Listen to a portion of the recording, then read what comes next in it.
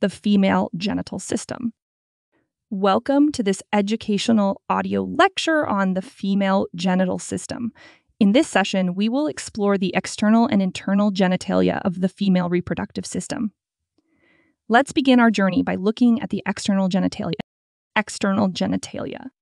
The vulva and its parts make up the external genitalia. The word vulva is a term used to refer to the external genitalia of the female. 1.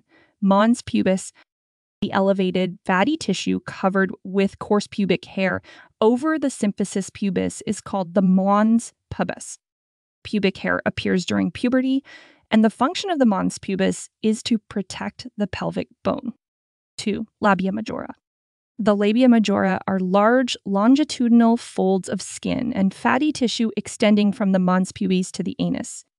The outer surfaces are covered with hair, while the inner surfaces are smooth and moist. They serve to protect the entrance to the vagina. 3. Labia minora. The labia minora consist of two folds of skin found within the labia majora, enclosing the vestibule. In front, each labium minus divides into two folds, with the fold above the clitoris called the prepuce of the clitoris and the fold below called the frenulum. These structures do not have pubic hair. 4. Clitoris the clitoris is a small projection of sensitive erectile tissue, similar to the male penis.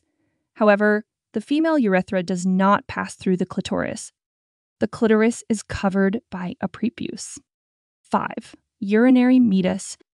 The urinary meatus is located between the clitoris and the vagina. 6. Vaginal orifice. This is the opening to the vagina from the outside. 7. Bartholin's gland Bartholin's glands are bean shaped glands located on each side of the vaginal orifice. They provide lubrication to the vagina. 8. Perineum. The perineum is the area between the vaginal orifice and the rectum, sometimes referred to as the pelvic floor. Now, let's shift our focus to the internal genitalia. 1. Uterus or womb. The uterus is a hollow, muscular, pear shaped organ located in the pelvic cavity between the urinary bladder and the rectum. It has three anatomical divisions the fundus upper convex part, the body central part, and the cervix lower neck like part. The fundus is situated just above the entrance to the fallopian tubes. The walls of the uterus consist of three layers the endometrium inner layer, the myometrium middle layer, and the parietal peritoneum outer layer. The uterus plays a vital role in pregnancy, labor, and menstruation. 2.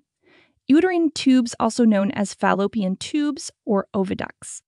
These tubes extend from the uterus to the ovaries and serve as the path for ova to travel from the ovaries to the uterus. They are positioned between the folds of the broad ligaments of the uterus. The infundibulum at the open end of the tubes is associated with fimbria and connects to the ovaries. Three ovaries. The ovaries are almond shaped glands located on either side of the uterus, below and behind the uterine tubes. They produce ova, participate in ovulation, and secrete female sex hormones such as progesterone, estrogen, and relaxin. 4. Vagina. So, the vagina is a muscular tubular organ lined with mucous membrane extending from the hymen to the cervix. Its lining consists of smooth muscles arranged in folds called rugae, allowing the organ to expand when necessary. The hymen is a fold of mucous membrane at the vaginal orifice. In conclusion, we've covered the external and internal structures of the female genital system. Understanding these components is crucial for comprehending the female reproductive system's anatomy and function.